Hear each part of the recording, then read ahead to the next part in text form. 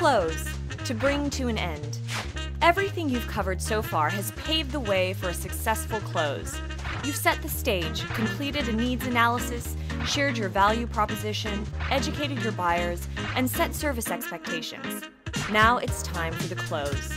At this step, you will make the commitment to work together. All questions have been answered, and most likely, any objections have already been swept off the table.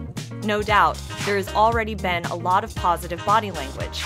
Here are a few different closes that can work with buyers. Which close will work best for you? Option 1 So what we're going to do now is sign the buyer representation agreement, which puts me to work for you. You're going to give me the tools I need to represent you in your purchase.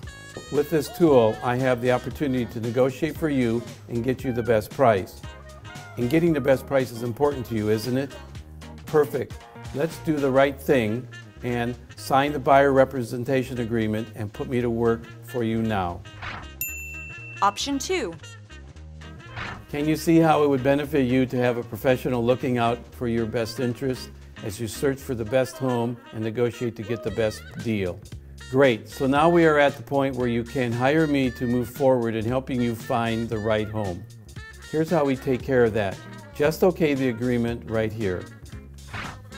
Option 3 We call this agreement a loyalty agreement, where I agree to be loyal to you, take no action detrimental to your best interests, and fully represent you to find the best home at the right price. It's a reciprocal agreement in that I ask you to give me your loyalty in exchange for me working nonstop to find you the best home at the lowest price in the least amount of time. Keller Williams research shows that 91% of Keller Williams agents conduct a buyer consultation before showing a buyer any houses. Do it right, and you will close more buyers in less time. Do it wrong or skip it altogether, and you will spend more time closing fewer transactions. The choice is yours. Exercise.